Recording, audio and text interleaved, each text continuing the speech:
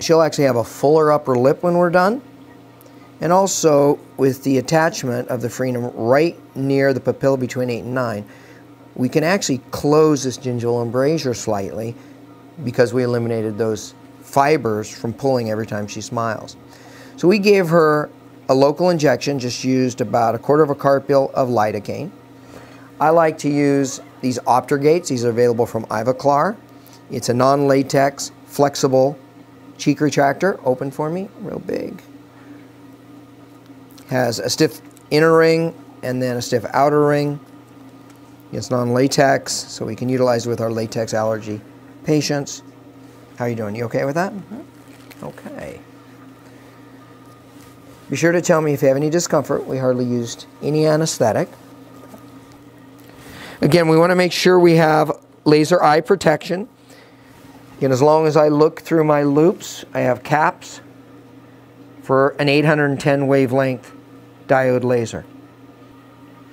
All right, so we're going to go ahead and use the diode in the cutting mode, somewhere in the 1.2 watts. Again, this is touch screen. We can either raise the wattage or lower the wattage depending on how the cut is being made. The diode laser is attracted to dark pigmentation like melanin. So a patient that has a lot of melanin, black American, Mediterranean, we typically would have lower wattage or lower energy used than someone that is light skinned or most Caucasians. Again, the goal is the least amount of energy to do the job.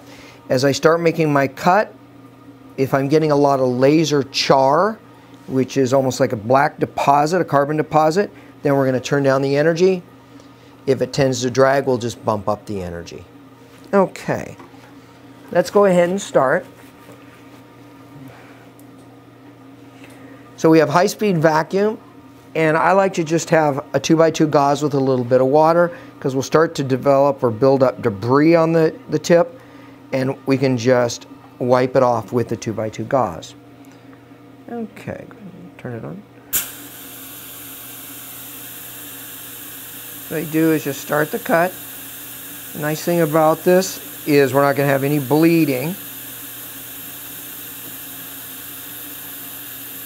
I'm going to take a still of that.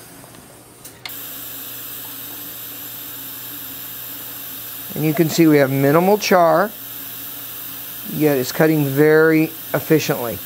This is an end cutting laser. My goal with this is to go completely through the fiber until I hit periosteum.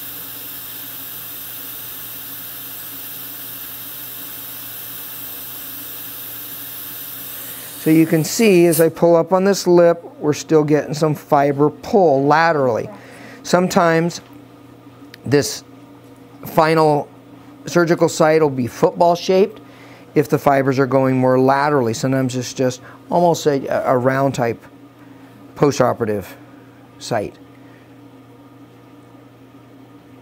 Suction? Yeah. No, I need suction. So we're going to go right to periosteum. Notice no bleeding. For postoperative discomfort will be the injection sites only. It's just a very light touch. If I do get a little bit of bleeding, if I hit a little artery, again the diode laser is attracted to the hemoglobin, so I can just cauterize that bleeding point and move forward. How are you doing? Okay? Mm -hmm.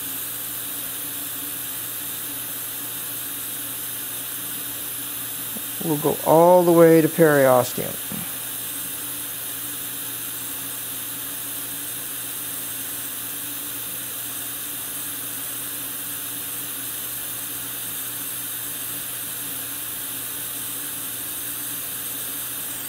Okay. All right, so we eliminated the fibrous attachment to the periosteum. Now what we're going to do is just kind of clean this up, almost like festooning a denture. Clean up the lateral borders, the bulky attachment. We got a little bit of drag here, so I'm just going to bump it up. Another 0.2 watts. I'm still only at 1.5 watts. What I'm doing is just cleaning up these borders.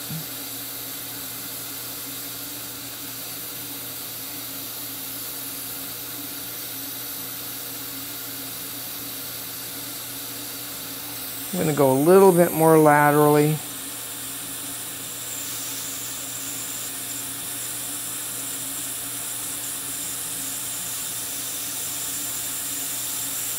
You can see we still don't have any bleeding, hardly any laser char.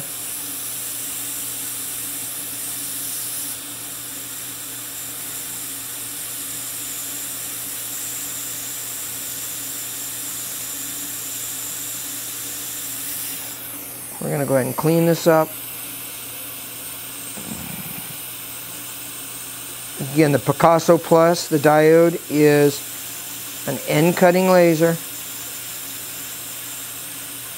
So we just use it almost like a radio surge or electrosurge. Except that, again, the nice thing about it, it's very predictable. No postoperative discomfort, no bleeding, and we can hit the periosteum.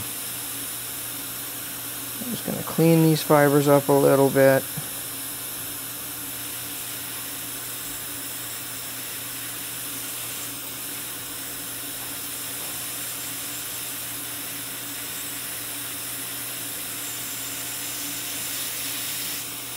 Getting a little bit more char than I would like, so I'm just going to turn it down.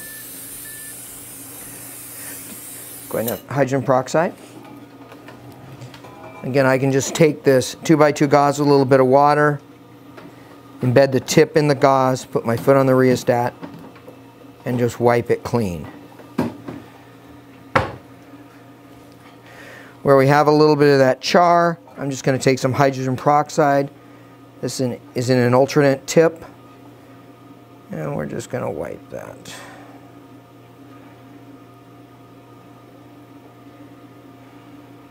Okay, great.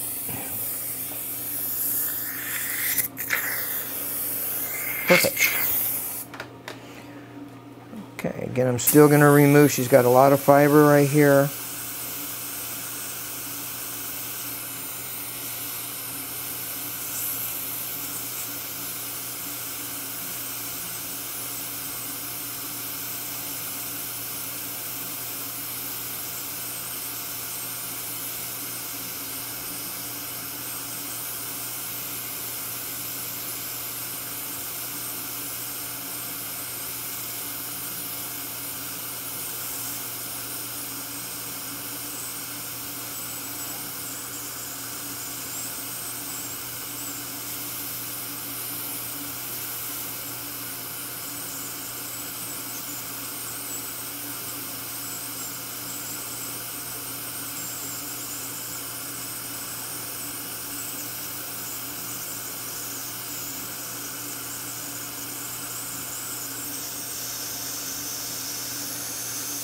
Perfect.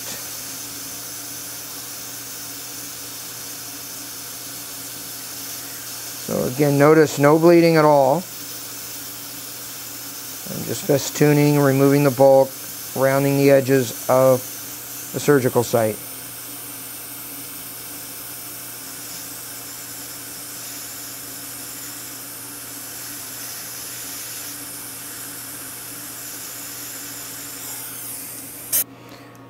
Now, post-operative care for Erica would be just to keep that clean. I'll give her a little bit of chlorhexidine just to rinse after she eats.